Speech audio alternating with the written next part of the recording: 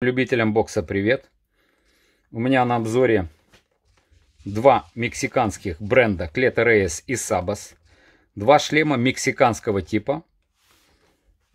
Для сравнения сделаем небольшое сравнение и обзор данных шлемов.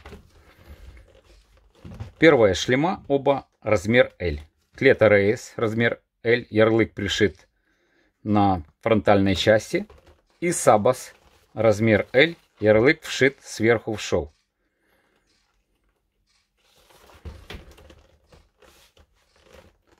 Шлема мексиканского типа со щеками.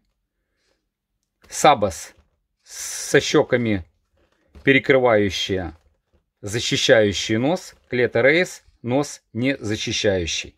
Регулировка данного шлема на шнуровке сверху, что в Сабасе, что в Клета Рейсе – регулировка сзади на шнуровке и на двух липучках в клеторейсе регулировка. Снизу регулировка на ремешке с пряжкой в клеторейсе. В Сабасе регулировка на защелке, как у Виннинги в модели FG 2900. Наполнитель. Наполнитель однослойный латекс наполнителя около 2 см, наполнитель средней жесткости на всей фронтальной части, наполнитель в Сабас около 5 см, тоже средней жесткости, его очень много. Он практически фронтально идет по всему, наполнитель по всей лицевой части шлема. Также очень много наполнителя на боковой части. Клета Рейси наполнителя на боковой части он отсутствует.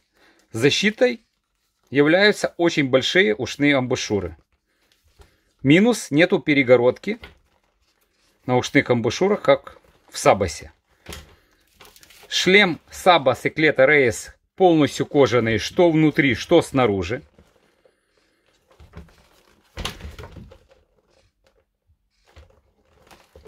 Вес данного шлема Вес шлема Клета Рейс. Размер L.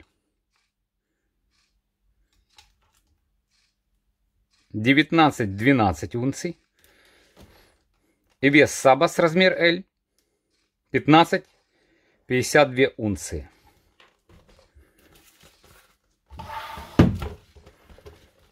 Итак, плюс и минус данного шлема. Защита. Сабас Pro серии более защитный, он перекрывает полностью носовую перегородку, что является минусом клеторейси. Наполнителя больше, чем клеторейси. Регулировка лучшая подгонка, чем на липучках, на любой шнуровке, всегда лучше. Защита ушных амбашюр с перегородкой, плюс. Минусом может быть являться защелка, потому что пряжка на ремешке более надежная фиксация. Но плюсом это быстрое снимание и одевание шлема. Вес шлема Сабас легче, 15 унций против 19 унций, как в Клеторейсе. Минусом Сабаса является по сравнению с Клеторейсом это обзор.